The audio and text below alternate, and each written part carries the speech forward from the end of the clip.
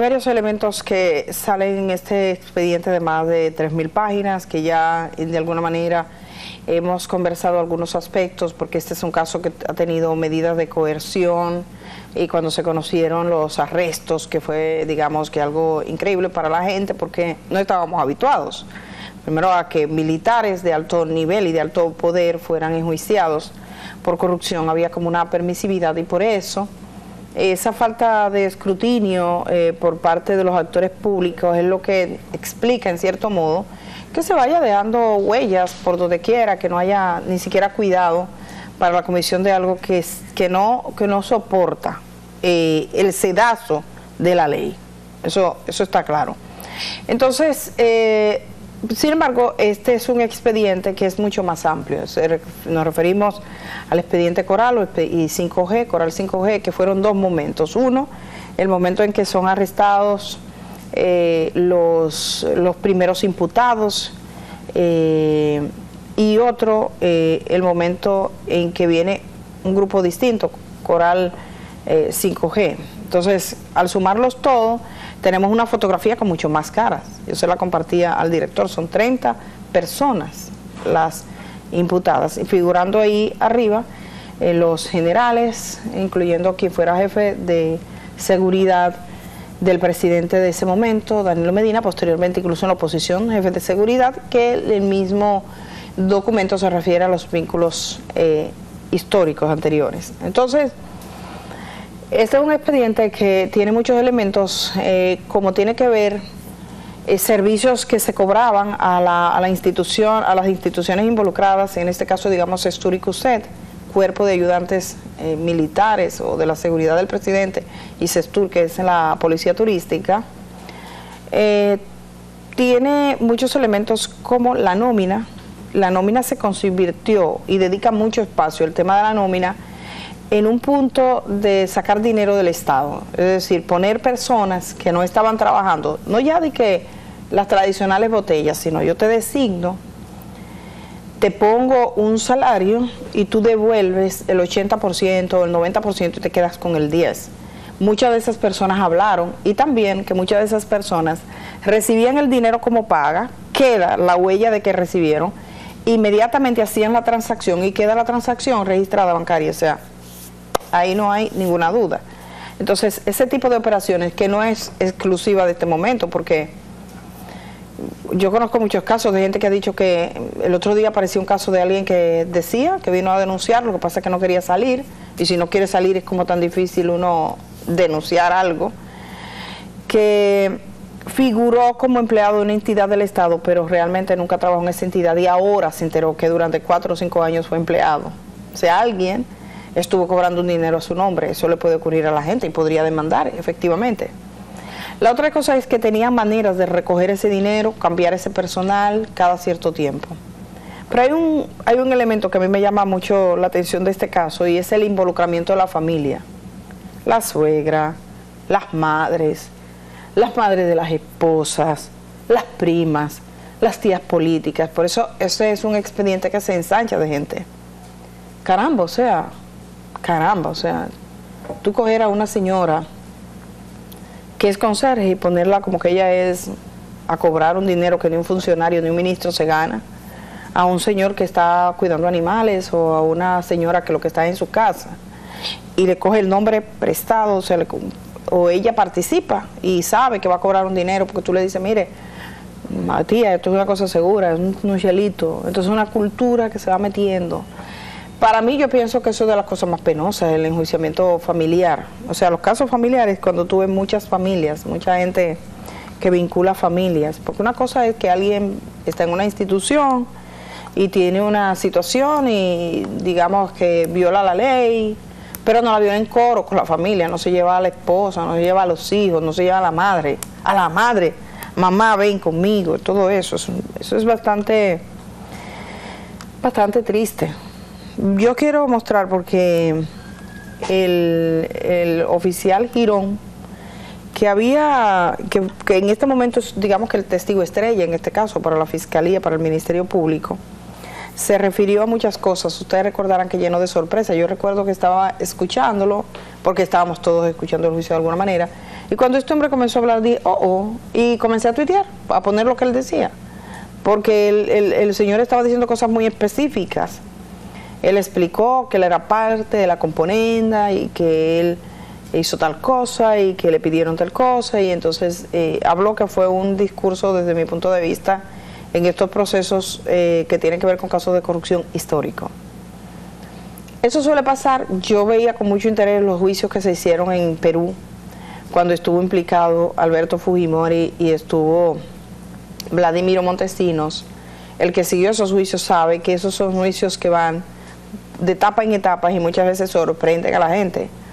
O el que ha seguido los juicios que se hacen en Colombia, que todavía siguen dando de qué hablar, muchos procesos, acaban de extraditar a quien se considera el mayor narcotraficante de Colombia a Estados Unidos y muchos están pendientes a ver qué puede decir del otro lado, o los casos que se han seguido, por ejemplo, en México, eh, y, un caso particular que anoche vi una, una conversación sorprendente, voy a ver si tengo tiempo para ponérsela, que es en Guatemala que ahí había una comisión eh, designada por Naciones Unidas, hubo un gran revés, pero que estaba trabajando con temas de corrupción. Esos son temas muy complejos por las implicaciones que tiene. Eh, vi que ratificaron a la fiscal general o se anunció que se iba a ratificar y que el Departamento de Estado emitió un comunicado diciendo que, figuraba parte, o esa persona figuraba parte como de un ente corrupto, que había anulado la visa por un ente corrupto. Y entonces el Ministerio Público le, le responde al, Departamento de Estado y le dice que se metan en sus asuntos y no sé qué. Totalmente inusual. Este tipo de situaciones plantea cosas que a veces rompe la diplomacia y rompe todo. Entonces, en el caso dominicano, de alguna manera lo que esto plantea es la necesidad de controles más específicos, pero no para los de ayer, para los de hoy también para la gente de ahora, porque los controles son para siempre, eso es para la gente de ahora, o sea, que importe. Y también son lecciones para todos, porque como un raso piensa que le puede decir a un coronel que no, un teniente que no, un capitán que no. Si es, por ejemplo, bueno, pero robar no es parte de tus funciones. Y es muy complicado con, con, el tema, digamos, eh, de una admisión cultural de que las cosas se hacen de ese modo, que es para el avivato uno ve muchas situaciones aquí que son como de ese tipo. Ah, no, yo tengo esto, esto casi como que me pertenece, pongo la gente que quiero, tú me traes los amigos, hacemos esto y hacemos los descuentos. Y por eso ustedes van a encontrar estas conversaciones tan abiertas. Yo le voy a mostrar así de manera rápida algunas conversaciones que figuran de WhatsApp, no la voy a leer entera. De hecho, las conversaciones por sí mismas no parecieran en algunos momentos ser delictuosas. O sea, si no tuviesen el testimonio y el contexto, porque una conversación de WhatsApp tiene que tener un contexto. Usted dice, bueno, ahí se estaba negociando tal cosa. Mire, se hizo tal cosa, yo se lo comuniqué por WhatsApp, mírelo aquí. Entonces así te puedes ir percatando, pero por sí misma no es que nadie por WhatsApp va a decir, oye, vamos a robarnos 30 mil pesos. Coge los 30 mil pesos, que lo vamos a robar, que lo vamos a coger, o que vamos a hacer esto, que lo vamos a, desviar, como dicen aquí, por no decir sustracción, lo que sea, esa, no, no, son los términos, son términos al parecer correctos, pero sí que hay un, un, tema recurrente de manejo de dinero, de cita, de que voy a firmar. De hecho, vamos a verle, señor director, bastante reporte. Tiene la página número 100, ahí figura el WhatsApp, es cuando comienza. Y si lo muestro es para que vean que es un parte fundamental. Y ahí tiene lo que están hablando, la transferencia. Siga, director, muévase, por favor. Seguimos a la siguiente página, hágalo sin problema. Váyase directico a la página número 103. Ahí hay una circular y le dice Raúl Girón, que es hermano de, Girón el que, del que habló, a Rafael Núñez, que Rafael Núñez de hace, mira esta circular, mira, no sé si Cancún le enseñó este documento que prohíbe los incrementos de nómina desde el año pasado. Y es un documento, una circular del Ministerio de Hacienda, donde le dice a las entidades públicas que no pueden aumentar. Luis Reyes Santos lo afirmaba en ese momento. Eh, y ahí tiene, con todo y fecha, le dice que no pueden aumentar la nómina. Y le dice, eh, le dice Girón, eso es para que ustedes vean lo frío que estamos en Contraloría, que somos la única institución del Estado a la que se le están permitiendo retroactivos. Y dice el otro, y estamos desperdiciando eso, así es. En otro orden, ya el jefe de la policía firmó y está en camino al, eh, al PAF y lo ahí le dice algo para su conocimiento. Seguimos, vayan bajando, bajando, bajando, bajando, vamos a seguir. Ahí están todos. Miren el monto al final del dinero, una lista de dinero que ahí tiene eh, las transferencias 10 mil, 2 10 mil, 3 5 mil, 4 5 mil, 5 mil, 5 mil.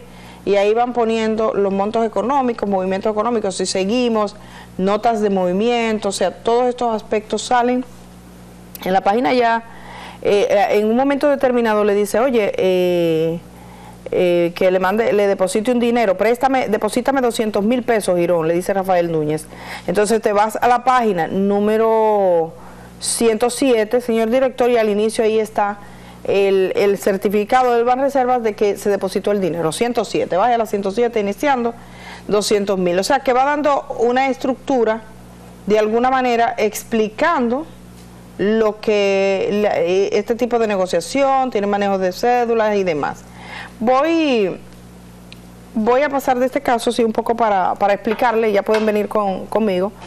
Eh, esos son los referentes a los WhatsApp. Entonces, lo quise poner un poquito nada más, porque creo que las conversaciones en sí mismas habría que leer mucho y comprender, solo para decirles que el tema de las comunicaciones internas cotidianas forman parte central de esa investigación en ese en ese expediente, en ese expediente que es ahora cuando se está conociendo porque fue depositado por el Ministerio Público hace razón de dos semanas. Yo estoy muy pendiente de lo que está ocurriendo con la lectura de otro expediente que es en Villa Vázquez. En Villa Vázquez. Hoy en Montecristi los jueces leen completa la decisión infame por obra y gracia de un miembro del Ministerio Público que fue y le dijo, oye, nosotros no tenemos nada que reclamar con respecto a esos señores que sembraron drogas en una barbería, ustedes lo recuerdan. Todo el mundo vio eso, todo el mundo vio la barbería, todo el mundo vio el tire, tirando, como si fuera una comedia. Acusaron a esa gente y venía una acusación. Cuando ellos sacan el video, caen presos todos, los militares y policías que pertenecían a la Dirección Nacional de Control de Drogas y la fiscal. Bueno, pues el fiscal, el procurador fiscal, procurador de la Corte, fue y se presentó ante los jueces y dijo, miren, Primero que nada, yo renuncio a la mayoría de los testigos. Esa gente, renuncio a ella. Renunció hasta el, hasta el video, ni ya ni el video forma parte. Renuncio a los testigos. Después, a rato, dice, bueno, entrevisto a este testigo. Una. Después, hay un testigo que me interesa traer y trae ese testigo. Para que traiga ese testigo, el tribunal se lo rechaza por una orden. Y finalmente dice, definitivamente, yo retiro los cargos, nosotros retiramos los cargos, contra estas personas, da la lista de los policías y militares y le da solo un delito a la fiscal. Esa sentencia se iba a leer hoy. Para escuchar bien cómo fue que eso se justificó, porque eso es un muñeco que no se comprende bien dónde está la cabeza y dónde están los pies. Eso no tiene ni pie ni cabeza, eso no se entiende. ¿Por qué el Ministerio Público tomó una decisión de esa naturaleza en Montecristi? En un caso que imagínense ustedes que es un caso tan público, tan público, imagínense que no lo fuera. No lo comprendo, pero eh, esa, esa lectura de ese documento era ahora y lo que me están reportando que, bueno, el tribunal lo que ha hecho es ratificar eso. No es un acto de descargo, no hay descargo. Hay un retiro de la acusación por parte del Ministerio Público. Ya veré qué dice esa sentencia al final, en términos legales, cuando culmina. Pero ese también es una parte importante. No es solo que las cosas se descubran, no es solo que vayan a juicio, en ese momento mucha prensa, mucha tinta, mucho hablar, mucho decir, mucho escándalo, mucho, mucha espuma, mucha espuma, mucha espuma. El chocolate de esa bebida era el juicio. Esa, esa es la parte que importa. ¿Qué se hizo? Porque ahí se determina si aquí habrá un imperio de la impunidad o se pueden jugar las cosas tal como son. Porque esos policías y militares pueden mañana salir a demandar a, a, la misma policía, a la DNCD, y demandar al Ministerio Público y todo, por falso testimonio prácticamente, porque ellos, el Ministerio Público dijo que no, que ya que no tiene nada. Eso no se entiende. Hay una investigación en marcha que ha ordenado la Procuradora General de la República, que supongo, como ha ordenado una investigación, que tampoco lo entiende. Vamos a hacer una pausa y regresamos de una vez.